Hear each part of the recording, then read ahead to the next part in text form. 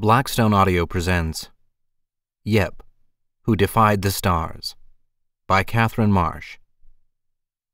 To my mother, Elaine Milosh Marsh. The soul of the newly born baby is marked for life by the pattern of the stars at the moment it comes into the world. Johannes Kepler. The fault, dear Brutus, is not in our stars, but in ourselves. Julius Caesar, William Shakespeare.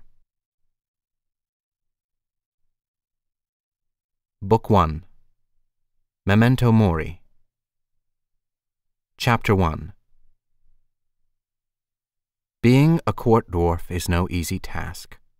I know because I failed at it. But before I tell you how I failed, and how I ended up imprisoned in this star-crossed coach, bumping up and down bone-rattling roads, I will tell you a little about myself. My name is Jepp, and I was born fifteen years ago in the town of Astraveld, twenty miles south of Utrecht. To call Astraveld a town is probably not quite correct. It is more of a crossroads, and a dangerous one at that, set among lands claimed by both the Spanish Netherlands and the Protestant North. Astraveld was a real town once, when my mother was young, with long, flat stretches of green fields, cows and chickens, a harvest festival, a small church, and a dirt square where farmers traded eggs and barley, and visiting merchants supplied spices and cloth. But when the Protestant North rose up against Spain, most everyone fled except my mother's family and three or four others. My grandparents realized they needed a different livelihood, independent from their pillaged lands, so they opened an inn that served both Catholic and Protestant alike, until the day my grandfather was stabbed in the heart by a drunken Spanish soldier who mistook him for a spy. Even after this tragedy, my family stayed, bound by the stars, my mother said, to a town that had been their home for as long as anyone could remember. A few years later, my grandmother died, and my mother became the sole mistress of the family establishment. She proved a formidable businesswoman. As the traffic of war flourished, she hired the remaining families of Astraveld in various capacities, and her inn, like the Ark itself, sustained the inhabitants of our much reduced town.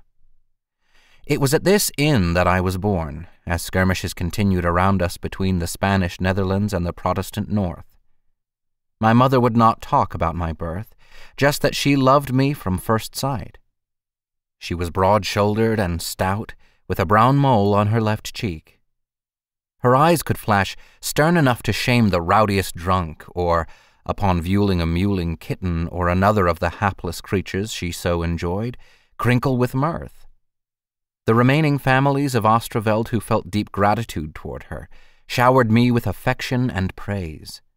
As the popularity of the inn grew, but I did not, I attributed the laughter and smiles of passing travelers to the love owed me as prince of my mother's spirited kingdom.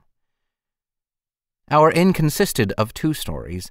The first contained an open room in which the eye was immediately drawn to a large hearth, where orange flames crackled and roared under a great cauldron of bubbling porridge.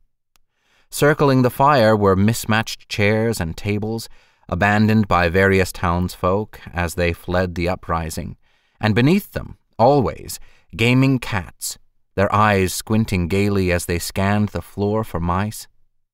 Two or three girls hired by my mother carried pewter mugs of ale from behind the bar and delivered them with loaves of black bread and small bowls into which they ladled the porridge.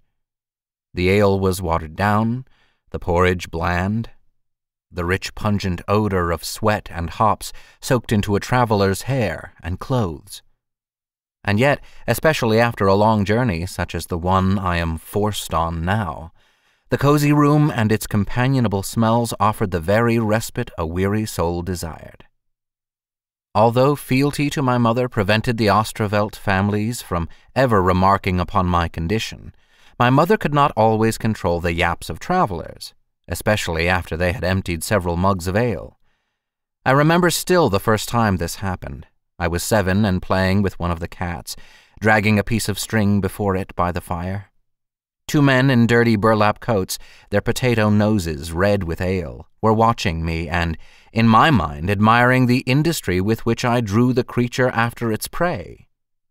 With hearty laughter, they calculated something on their fingers, and then, with a red-faced grin, one of the men called me over.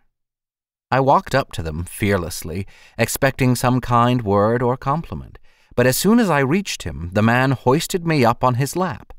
Then he seized my string and, dangling me in the air by the ankle like a hare, began to measure me with it. We hope you enjoyed this preview. To continue listening to this audiobook on Google Play Books, use the link in the video description.